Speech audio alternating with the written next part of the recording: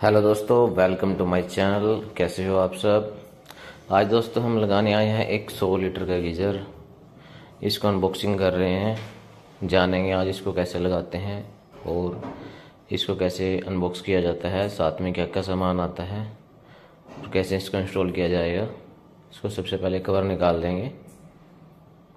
Customer के यहाँ पर पहले दूसरे ब्रांड का कोई गीज़र लगा हुआ था, जिसमें उसको प्रॉब्लम थी। कि उसका पानी जल्दी ठंडा होता था, इसलिए कस्टमर ने इसको रिप्लेस कर दिया है। ये पूरे सौ लीटर का है, देखने में एक छोटे फ्रिज जैसा नज़र आता है। और देखिए, इसको अनबॉक्सिंग कर रहे हैं। इसमें क्या क्या सामान निकलता है साथ में, वो भी आपको दिखाएँगे। इसकी टेप वगैरह उतार लेते हैं सारी। और फिर आपको दिखाएँगे, ये देखने में कैसा लगता है। ओरिजेंटल मॉडल है।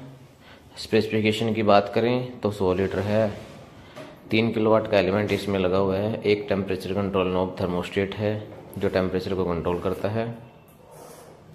हम अनबॉक्सिंग कर रहे हैं इसको। ये देखिए, पीछे ये वॉल पे हैंग होगा यहाँ से।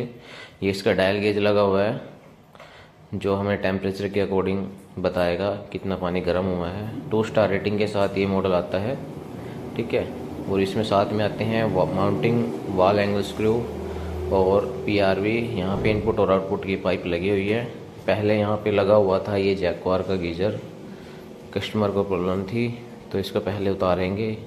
इसको पहले खाली करेंगे, इसमें जो पानी भरा हुआ है। अभी हमने इसके इनलेट और आउटलेट के पाइप खोल दिए हैं।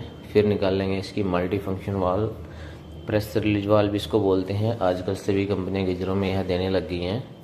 और ये बहुत बढ़िया चीज़ है। इसके बिना आप भी कभी गीजर को इंस्टॉल ना करें।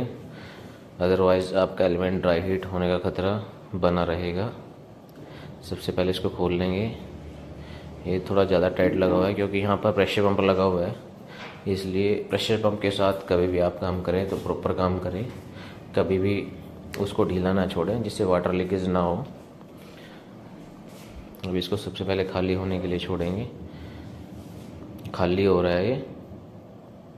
ये प्रेशर लीज भी ख़राब है, अब जिसके कारण इसमें पानी ऐसे ही बाहर आ रहा है, निकाल दिया है हमने इसकी प्रेशर लीज वाल इसको खाली करेंगे तो ये हमने उतार दिया है। अब हम ड्रिल करेंगे। ड्रिल करने के लिए आप कभी भी टाइलों पर ड्रिल करते हैं तो बड़ी सावधानी से करें।